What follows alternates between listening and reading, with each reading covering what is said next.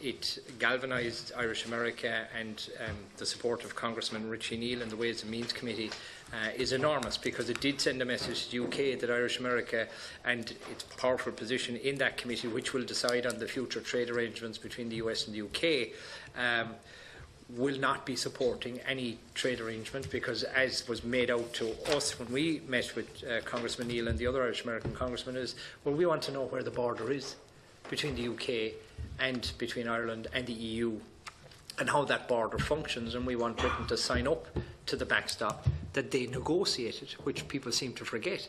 Um, and they're very concerned about the Good Friday Agreement and the peace agreement. And I know we are having the discussion on the border poll and the issue around that.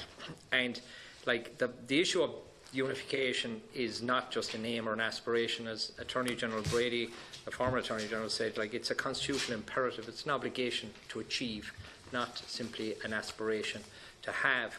And that policy neglect that we're currently suffering needs to be resolved. And I agree with Fergus O'Dowd about the roadmap.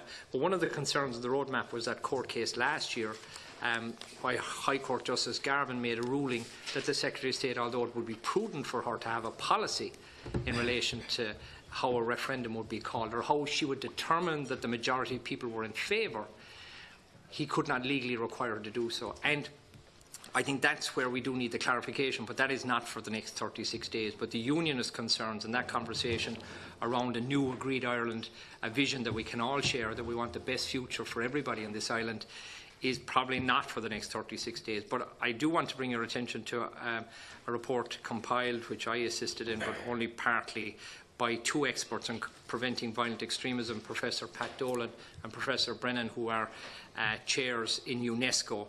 And their view, and this is about having facts, their view is that if there is a return to a hard border in Ireland, there will be a return to violence. The, the issue is the scale of the violence. And I think it's important for the UK government to listen to that because they need to know when they were having their debate on Brexit and their referendum, they didn't have the facts. And if they're deciding to do a U-turn on the backstop, they need to have the facts that there are not just economic consequences for this island, but there are consequences that we do not want to go back to. It was the reason for the Good Friday Agreement. It was the reason for the backstop. It's the reason that we don't want a U-turn on the backstop. And like we do need to do that. And I'd like to thank the Chair for allowing me and for the Minister for attending the meeting. Uh, thanks, Mark.